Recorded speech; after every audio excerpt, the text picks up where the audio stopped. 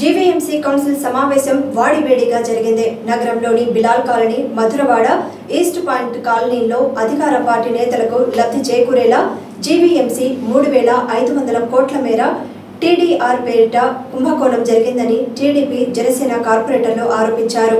Mayor Golagani Hari Venkatakumari అధ్యక్షతన GVMC ప్రధాన కార్యాలయంలో జరిగిన కౌన్సిల్ సమావేశంలో ప్రతిపక్ష కార్పొరేటర్లు మేయర్ను పోడియాన్ని చుట్టుముట్టారు.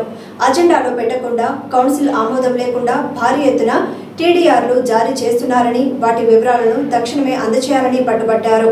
ప్లకార్డులు పట్టుకొని నినదించారు. TDP floor Janasena BJP floor లీడర్ల ఆధ్వర్యంలో సభ్యులు పెద్ద ఎత్తున చర్చకు డిమాండ్ చేశారు. జీరో అవర్లో అవన్నీ మాట్లాడుకుందామని అధికార వైసీపీ కార్పొరేటర్లు నచ్చజెప్పే ప్రయత్నం చేసినా విపక్షాలు ఊరుకోలేదు. దీంతో కమిషనర్ సాయికాంత్ వర్మ స్పందించి ఇప్పటి వరకు జారీ చేసిన టీడీఆర్ వివరాల్ని వెంటనే సభ్యులకు అందజేయాలని అవసరమైతే అత్యవసర సమావేశం నిర్వహించాలని మేయర్ ఆదేశించడంతో ప్రతిపక్ష సభ్యులు శాంతించారు. కాగా పలు వార్డుల్లోని శ్మశానాల్లో మౌలిక వసతుల అభివృద్ధికి నిధులు ఇవ్వడం లేదని వార్డుల్లో వీధి లైట్లు వెలగడం లేదని జీవీఎంసీ కార్మికులకిచ్చే జీతాల విషయంలో అన్యాయాన్ని సరిచేయాలని అభివృద్ధి పనులు ఒకవైపే కాకుండా అన్ని చోట్ల చేపట్టాలని కోరుతూ జీవీఎంసీ కౌన్సిల్ సమావేశంలో ప్రతిపక్ష తెలుగుదేశం జనసేన సిపిఎం సిపిఐకి చెందిన కార్పొరేటర్లు డిమాండ్ చేశారు. కొన్ని సమస్యలపై అధికార వైసీపీ సభ్యులు సైతం గొంతు కలిపారు. సమావేశం అనంతరం TDP floor leader Peela Srinivasarao Gandham Srinivasarao Palla Srinivasarao Janasena నాయకులు మూర్తి యాదవ్ కందుల నాగరాజు తీవ్ర స్థాయిలో విరుచుకుపడ్డారు. ఈరోజు అది ఐదు కోట్ల వాల్యూ అయిన సైట్ ఆల్రెడీ సపరేట్గా పార్క్ సైట్ అని కేటాయించి ఐదు వందల గజాలు. వీళ్ళు అధికారులు కూడా అబద్ధాలు ఆడుతున్నారు. ఇరెగ్యులర్ షేప్గా ఉందని చెప్పి ఎజెండాలో పొందుపరిచి మరి ఎవరో ప్రైవేట్ వ్యక్తికి దారాదత్తం చేస్తున్నారంటే ఇది చాలా అన్యాయం. దీన్ని మేము మేము న్యాయ పోరాటానికి వెళ్ళాలని చూస్తున్నాం. డెఫినెట్గా టీడీపీ పార్టీ తరఫున మేము న్యాయ పోరాటానికి ఆ విషయం మీద పర్సనల్గా వెళ్తామని చెప్పి మేము తెలియజేసుకుంటున్నాం. అలాగే ఏవైతే అంశాలు ఉన్నాయో ఒక అధికారి చెప్తున్నారు ఏ రోజైతే కౌన్సిల్ అవుతుందో అడిగే క్వశ్చన్ అన్నిటికి కూడా కంప్లీట్ మెటీరియల్ పట్టుకొని అక్కడ కూర్చోవలసిన బాధ్యత అధికారులకు ఉంది అధికారులు కూడా పొలిటికల్ లీడర్స్ లాగా నీకు ఎనాక్స్ పంపించేస్తాను. నీకు వాట్సాప్లో ఎనక్స్ అని చెప్పడం అంటే ఎంత ఇరెగ్యులర్ సమాధానం అది? ఇది అసలు హౌస్ హౌస్ వాల్యూ తెలుసో తెలియదా లేదా? వీళ్ళు ఎక్కడి నుంచో అధికారులు వచ్చారు. అసలు వీళ్ళు ఈ డిపార్ట్మెంట్ కాదు. డిపార్ట్మెంట్ కాని వాళ్ళకి వీళ్ళకి మినిమం నాలెడ్జ్ లేదనిపిస్తుంది.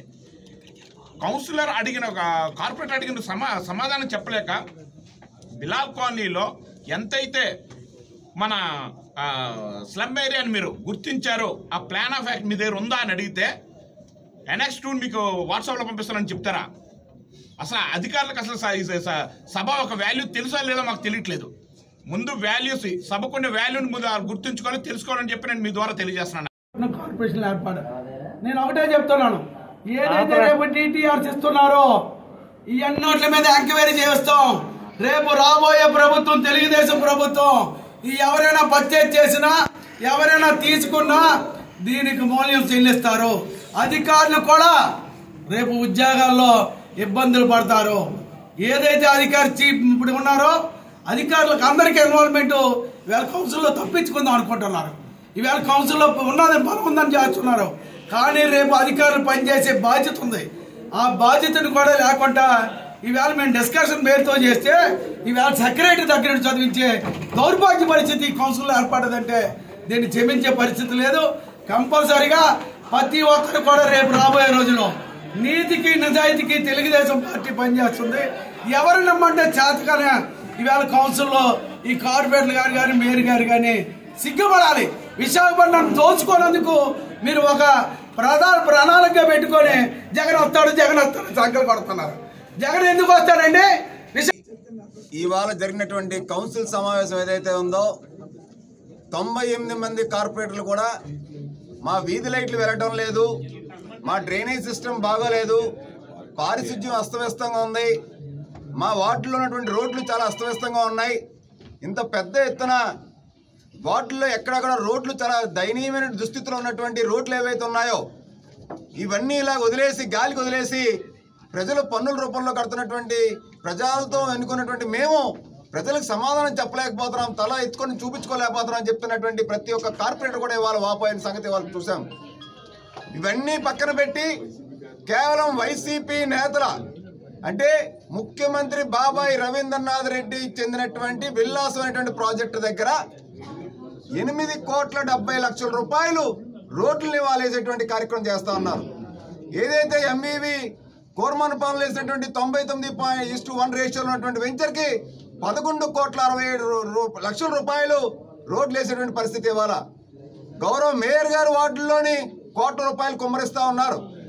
అంటే వైసీపీ నేతల యొక్క వ్యాపారాలు ఏవైతే ఉన్నాయో వాళ్ళ వెంచర్లు ఎక్కడైతే ఉన్నాయో వాళ్ళకే ఇవాళ విశాఖ ప్రజలు పన్నుల రూపంలో కడుతున్న ప్రజాధనాన్ని ఇవాళ రోడ్లు పాలు చేస్తున్నటువంటి పరిస్థితి. అంతేకాని నగర ప్రజల యొక్క పరిస్థితి ఎలాగుంది? వాళ్ళంతా అవస్థకు గురవుతూ ఉన్నారు. అన్నది ఇవాళ లేదు.